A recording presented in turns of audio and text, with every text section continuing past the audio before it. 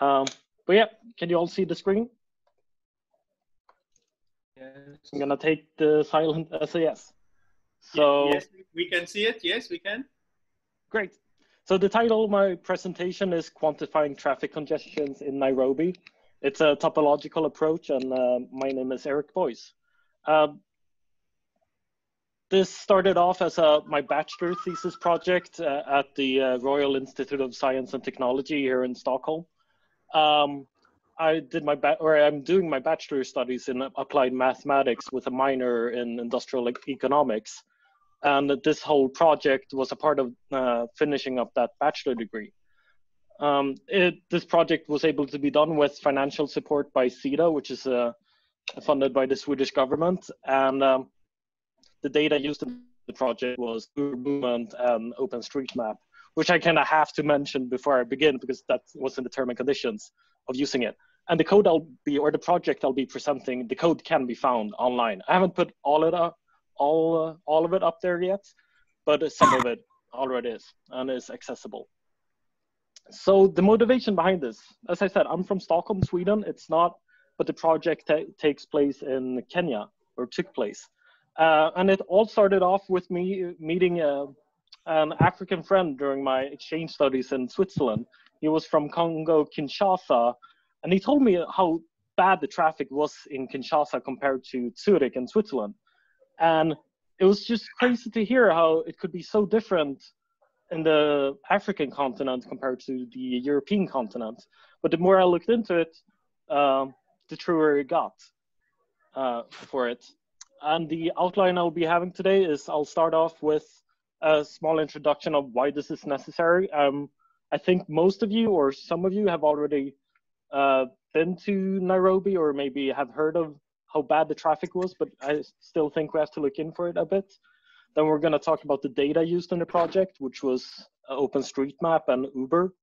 And then finally, we're going to go over the method I had with uh, uh, the different research questions connecting to it. And then a final conclusion because and the key takeaways from this. Uh, so sit back, relax, and uh, hopefully we'll get the next half hour covered. Uh, we'll begin with the introduction with it. And I mean, whatever you might hear in the media, the, the world is getting better and the whole world is getting better. We're uh, countries like Ghana, India, and Colombia are these emerging economies that are just growing faster than ever before. And we're seeing such a sprawling rate of econo- economies in low and middle income countries, which is just wonderful to see. But it doesn't come uh, that easy. It, it, has some growing pains connected to it. And if we take a look at a city like Lagos uh, in Nigeria, they saw a huge population boom because of this. I mean, the whole economy is growing, which is great. But they went in 20 years, they went from 7 million people in the city to 14 million people, which is a it's a doubling in an already big city in just 20 years. And if we compare this to a European city, uh, for example, Stockholm, where I'm from, we went a 30% population increase in just 20 years, which is a lot smaller. And then Stockholm is still one of the fastest growing cities in on the European continent. And we already had like pretty good infrastructure built in the 60s and 70s and 80s. Um, and the road infrastructure was already highly developed, which is the opposite of what's having uh, on the African continent. We're seeing this huge population boom at the same time that's happening faster than ever before. So what I'm getting into is that the traffic has been really bad in some of these cities, which is growing the fastest. So going into it, uh, my bachelor thesis project was connected to this. It was traffic in developing countries is increasing, and it's faster than we've ever seen, and that they they can't really cope with it because it's happening too fast, and it's also turning into this catch-22 scenario where you want the economy to be growing and uh, efficient or efficiently being put to good use, but it can't happen because the traffic is being such a bottleneck in the whole system. You can't have a functioning city if you can't have good infrastructure behind it. So it does have a, both a negative economic impact and, of course, a negative environmental impact uh, of this. So the case study that I did was I went to Kenya, to Nairobi, to be at the University of Nairobi with Jared, who's helping host in this. Um, and I, I was there for a full month before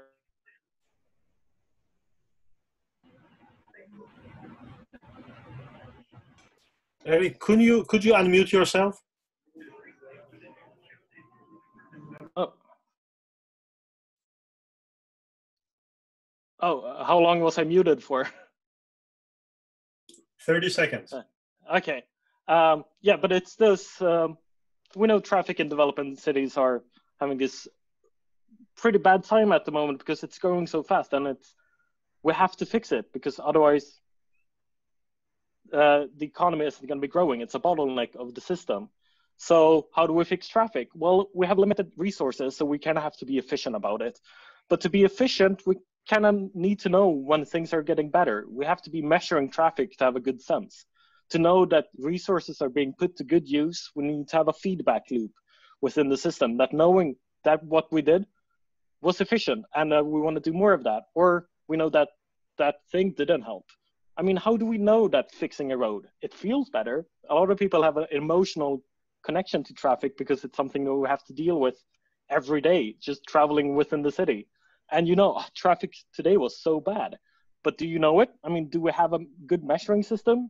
Um, what's kind of unfortunate is that there's not too many good methods uh, to be dealt with. A lot of, if you look at the European continent, a lot of the cities have have invested huge sums of money into traffic ca- cameras and the traffic institutions have spent a lot of money just getting a system to run with this while developing cities don't have these resources. So we kind of have want to have something that's efficient and low cost to be able to deal with this resource uh, problem. So this was formulated into three research questions because this was an academic report. And the first one was can the method be applied to traffic networks in urbanized developing cities. Because what we wanted to begin with was just finding a method that could work, that gives qualitative insight that traffic institutions can use and uh, um, have a better feeling about the traffic and not be put to emotional senses of it. Uh, and also, can the traffic method differentiate? Does it work? Do we know that traffic today was better than traffic tomorrow? And can the method that we worked out with the data actually tell that. Um, and then that turned into the final research question, which was can the method be used to detect advancements? Can we use the method that we were able to come up with or is going to present to actually notice things are getting better? Money is being put to good use. Um, so we had to take a look at the data available. As I said, we these cities that uh, I wanted the method to work for for uh, they don't have traffic cameras in the same way because that costs a lot of money. If you look at Beijing, uh, the capital of China, they have put enormous resources to just understand where all the all the cars in the traffic systems are, and it works out great. They can uh, be they can optimize traffic lights in every intersection to adapt, but this isn't doable for the cities we want to look at. So what we found was OpenStreetMap, which is to map the city so we know what, where things are. So we took a look at Nairobi. Uh, OpenStreetMap is a public, publicly available data source that gives you, um, we could find all the intersections of the city, which we call nodes, which is every intersections in the traffic um, in the city that the traffic uses, and also the position of that node. Uh, but the most useful thing was Uber movement. So I think you all are familiar with Uber, which is the taxi service that's provided by Uber Technologies, an American company. Uh, there's similar services like Bolt or Volt in other cities, but Uber Movement just has a bunch of traffic cars in the city. And with these traffic cars, uh, since they travel the road and since they all have a GPS to be able to track all the cars, they have all the speed data between intersections. So they have this service called Uber Movement where they publicly offer the the tracked speed or the measured speed between all intersections of a city, and they have it for Nairobi. So what we were able to get down from Uber Movement was all the intersections or all the nodes of the traffic uh, or the city um, and the speed that they had recorded. And they had this for the last two years, uh, all the months of the year and all the days of that month, and even down to the hour. So we could separate the speed of Nairobi hour by hour for the full year and look at different um, different states of the traffic network. Uh, so hourly, this so, is the averaged speed? It's the average speed. They also had, because um, they want to filter out uh, most of it, they don't want to have, you can't get the speed of a single car because they want to have anonymous data. So they aggregate the data in a sense that they only give you the average. And there's, uh, they also give you the standard deviation of that, which was uh, mostly pretty small. And sometimes they didn't give you for all the nodes because they didn't have enough cars within that for that hour. So it's not perfect data, but you have a lot of data. But yeah, it's an average of it. So this is what turned out to be used in the method that we developed. Um, we used, uh, I'm not gonna go over all the definitions used, but I want still you to realize that there is a lot of mathematical rigorness behind this. But since this is a presentation and I'm not an academic report, I'll try to keep the explanations a bit more uh, understandable. So it's not just math being thrown at you. And we'll go over research question by research question. And for the first one to develop so that the method can give qualitative insight for the report, we turn to barcodes, which is, um, it's a tool from the field of topological uh, data analysis uh, within applied mathematics. And it's about looking at structures uh, within the point spaces. So imagine a point space with just points in space. They have some sort of a distance in between them. And we want to get a sense of topological features. We might want to study clusters or if there's holes in the point space or other underlying structures of it.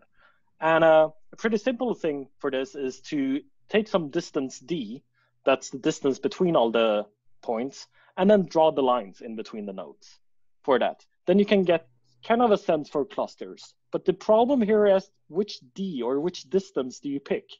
Because depending on the distance you pick, you're gonna see different topological features.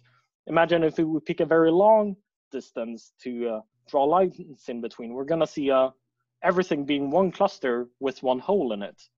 Um, but if we pick a much smaller D, then we're not gonna see these features. So what distance do you pick? And this is where barcodes come in. Instead of this, barcodes allow you to st study point spaces um, without needing to pick a single distance. So in traffic, we want to look for clusters of small roads. Um, remember that we had intersections and we had the speed in between those intersections. And what is traffic? Well, it's you driving slow on a road, and it's kind of you driving slow on multiple roads in a in a row. Um, traffic congestions are just clusters of slow roads within a traffic network. So a barcode studies this. Uh, take, for example, this very small uh, point space with only four dots. And then let's vary the distance d that we look in between by making these uh, ball formations surrounding them. And every time a cluster appears, we start drawing a bar in the barcode. So I don't know if you can see my mouse here, but I think you can. For when we go to this small distance d, uh, one of the smaller clusters appear, and that's drawn in with a line. And then when we go to D2, we get this other cluster here to the left, and then we start drawing the second line. But at D3, at that longer distance, it all comes down into one big cluster. And then that's when we kill um, one of the clusters and just keep drawing um, the first one. And you can even do this for more advanced stuff. Uh, if you take a bigger point space and still alter this distance d and have these balls growing around them and clusters appears as they fall in together. Um, turns out very nicely. Uh, let's see if this animation still can finish up. And what you get is a whole bunch of bars in the barcode. And each bar uh, looks at a, is a different topological feature. Longer bars are strong topological features that appear for a longer distance d. And it turns out that these small bars are noise in the data. that you can filter out and just appeared for a very short amount of time because they don't really have an underlying structure or they don't really mean anything to the final result. So we did this. We did a barcode for the whole city of Nairobi. And this is what we got as the animation plays. This is downtown Nairobi for you who've been there. Um, it's a very crowded place with a lot of roads, and we could filter this. The distance metric that we look at is just the speed, the average speed for different times of day. And I think this is aggregated data for the whole month of March that we're looking at. And what you see is this in the barcode, you definitely have longer bars, which each of the longer bars corresponds to a different cluster. And you can see a main cluster down here in the kind of in the middle of the city where uh, cars are going the absolute slowest, which is that's where you have like the heart of the traffic. And then as you go out to other parts of the city, you can see that the main roads are yellow, which is just they're going a bit faster, and then the uh, roads out to the uh, outskirts are even uh, a bit slower. So we're getting some qualitative sense here. We know where the traffic is, or like where the main traffic can be found, uh, which is great. Uh, but it's not the end result. Um, we can see some features of the traffic thanks to the, these barcodes, but it's not everything. It gives qualitative insight, but it can't be used to compare. That's the main problem with barcodes is that you can't compare different barcodes easily, especially when the underlying data differs a lot. Because the data that Uber was uh, or gave us, it differs a lot from week to week, and you're not getting the same picture of the traffic because they don't have data between all the intersections all the time, just because cars weren't going uh, in that place that day. So what we turn to for uh, question number two is a bit different. We want to extend the method to be able to differentiate between levels of traffic congestions, to know that the level at this time was different from the level at that time. And for this, we turn to signatures, which are very close to barcodes, but they can be compared to one another. And they have some variances, which is great for statistics because we want to have we don't want to be sure that what we're looking at really is different so a signature is uh, it's you start off with a barcode but you redefine the topological feature you're looking at so you know it's going to be the feature feature will be alive from the very beginning for even small distances and then you know that the features will die off as you increase that distance metri uh, metric and the signature of this is just drawing a line following the death of each barcode. And this just turns out to be one single function that or a piecewise constant, always decreasing function, which is great because these have means and you can sample them, uh, which is kind of the question we turn into because we want to compare uh, levels of traffic. And for this, we uh, we don't know like what's different traffic levels. We are kind of coming up with a method from nothing. But what we assumed was that if we look at the whole month of March, we should be able to sample every weekday, uh, every the same hour for all the weekdays should have kind of the same traffic. And what I'm saying here is that the traffic at eight o'clock in the morning should be about the same every eight o'clock morning for all weekdays in all of March. Uh, but if we compare it to 12 o'clock in the day, that should be different. So we sample 8 o'clocks and we compare it to 12 o'clocks, and then we compare that to 16 o'clocks or 4 in the afternoon. And that should be different states of the network. Uh, so we can look at the signatures that we were able to find here. Well, this is just signatures for 10, 10 o'clock in the morning. Uh, downtown Nairobi, all, all weekdays of March and you get these signature lines for every day that kind of are close to each other. They looks to be drawn from the same point space with some small variations in the underlying of it. Uh, and we turn, we can sample, or we can look at the mean, um, and we can look at the like 95% variance uh, of these um, signatures drawn. And then we can extend this to look at more hours. So we looked at two in the night, six in the morning, 10 in the morning and then four in the afternoon. And we can see that these lie at different places um, in the signature, which is great because that kind of gives us the sense that these are different and that traffic at different times are different for it. Uh, but to compare this, um, we kind of had to extend it. We want to prove statistically that these signatures are different from each other depending on the hour.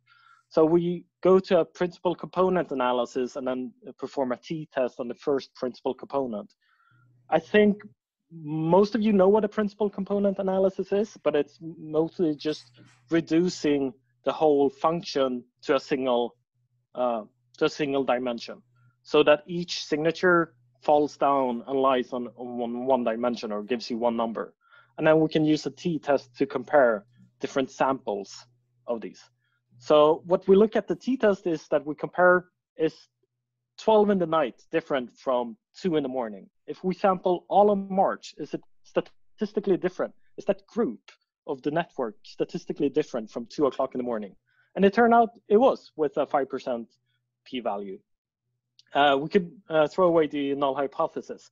And then we compared is 12 at night different from all other day, days of the day?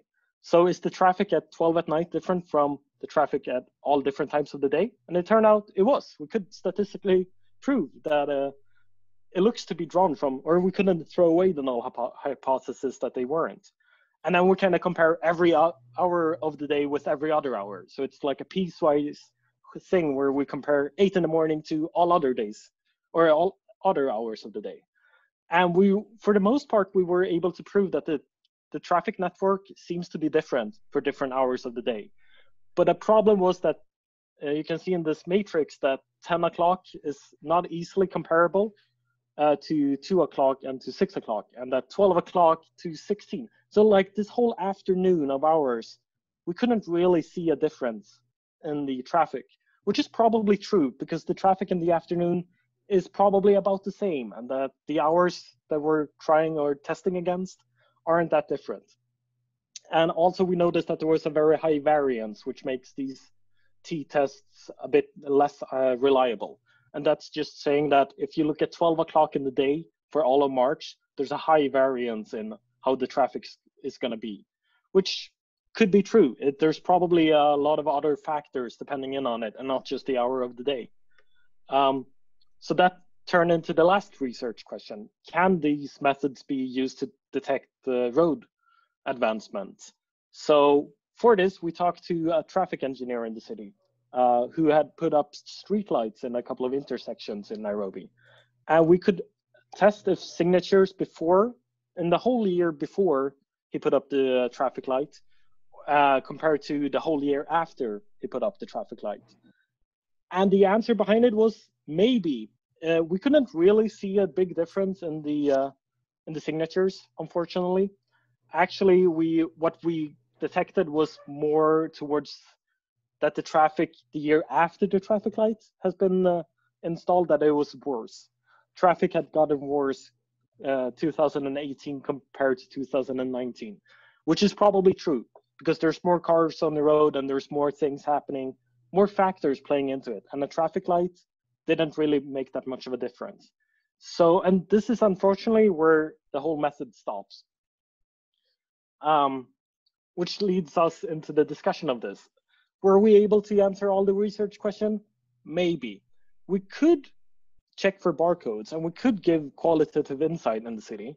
This using uh, methods from the field of topological data analysis proved to give some qualitative insight of the city. We can kind of see where traffic originates and where there's more traffic and where there's less traffic.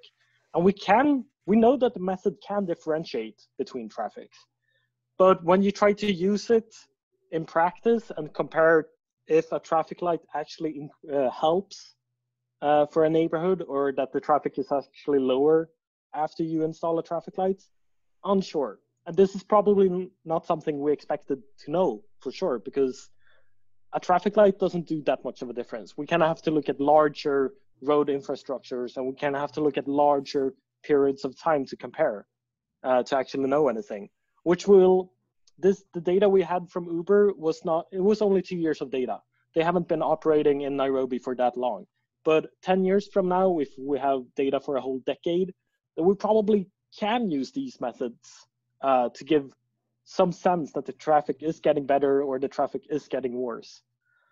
Um, and with that, the key take takeaways from this presentation is that these developing cities they can leapfrog and they're they're gonna be growing faster and there's no stopping that and we can actually put technology into good use because all of these uber drivers is recording things and these smart cities is are using data from the what people are doing.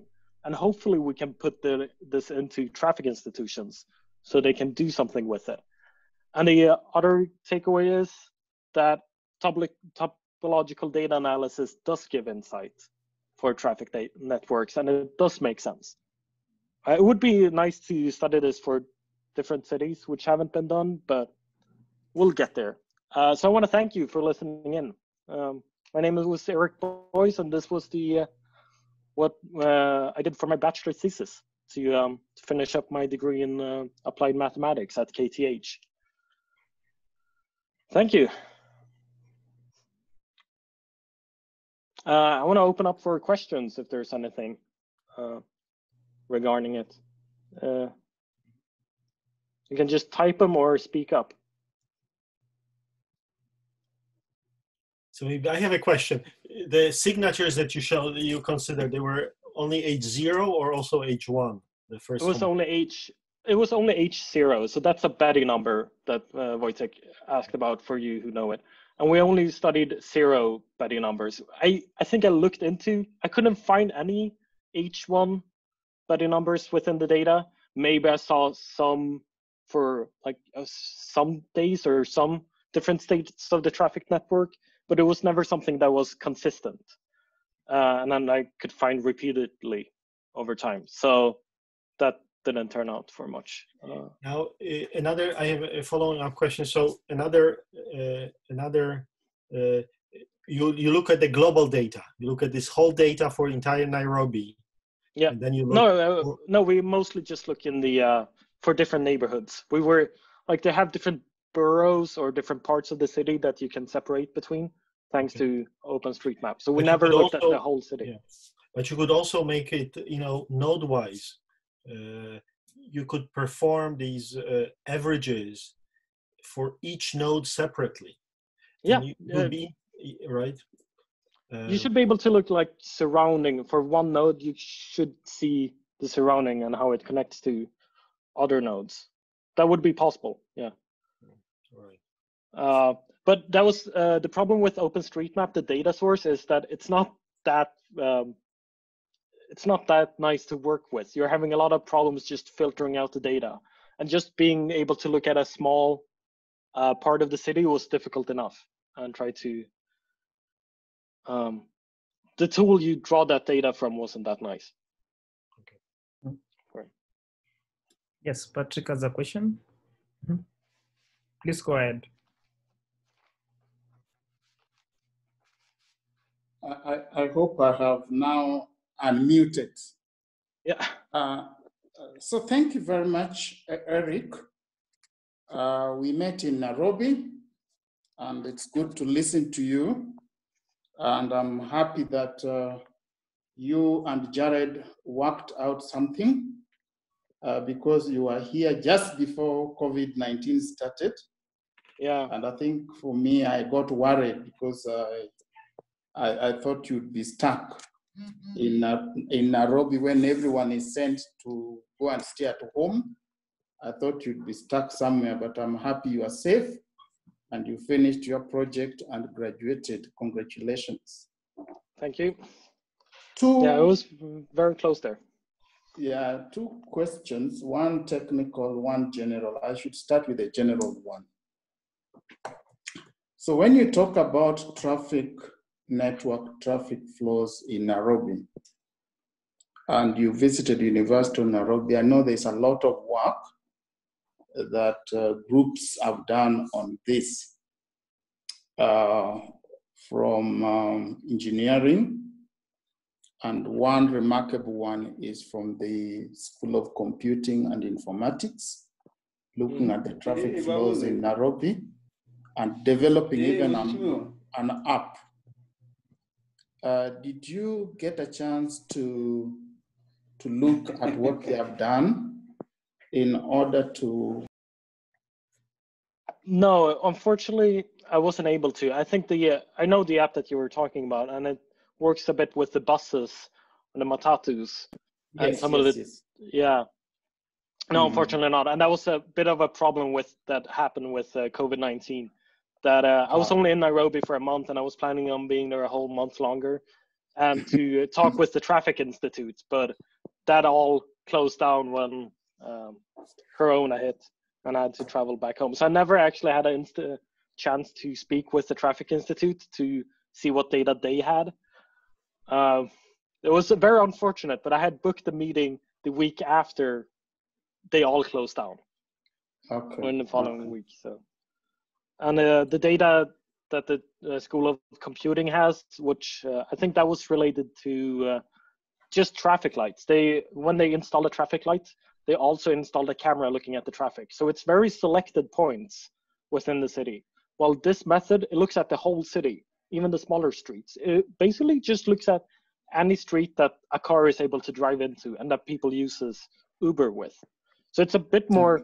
Big data sense that you get a whole bunch more data and which uh, or it calls for better methods than uh, just counting cars Okay, now the the next one is uh, I have seen that you have used uh, a PCA. Yeah. And from and from the PCA you are able to do a statistical test uh, to look at the you know significance of uh, Yeah. Uh, the, the the hypothesis that you are testing, um, and that is using the t-test. Now the table or the triangle that you have displayed has the ticks and the x's. Um, I, I'm, I would be interested to, to know the exact values, yeah uh, or uh, rather than the ticks. Of course, I know that you can use these ticks and x's to test using a t-test if you assume a distribution-free or a non-parametric method. But would, would these ticks and x's have actual values? uh, Yeah, so so you- that we, we are able to see the, the correlation uh, between the, the times indicated.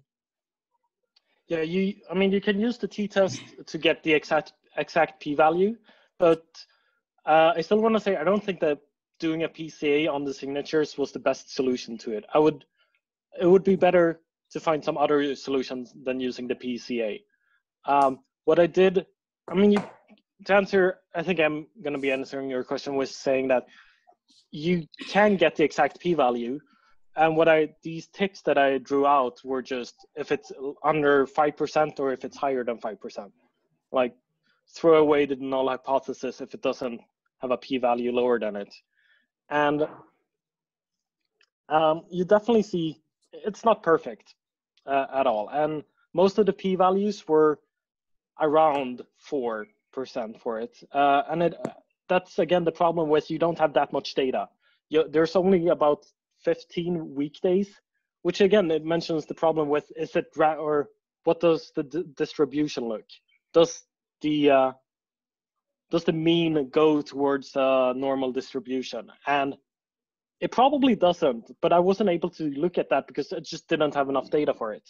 But you can't look at more data because then you have to look at multiple months, and then you're gonna have even more problems with eight o'clock in April and March and May are not the same.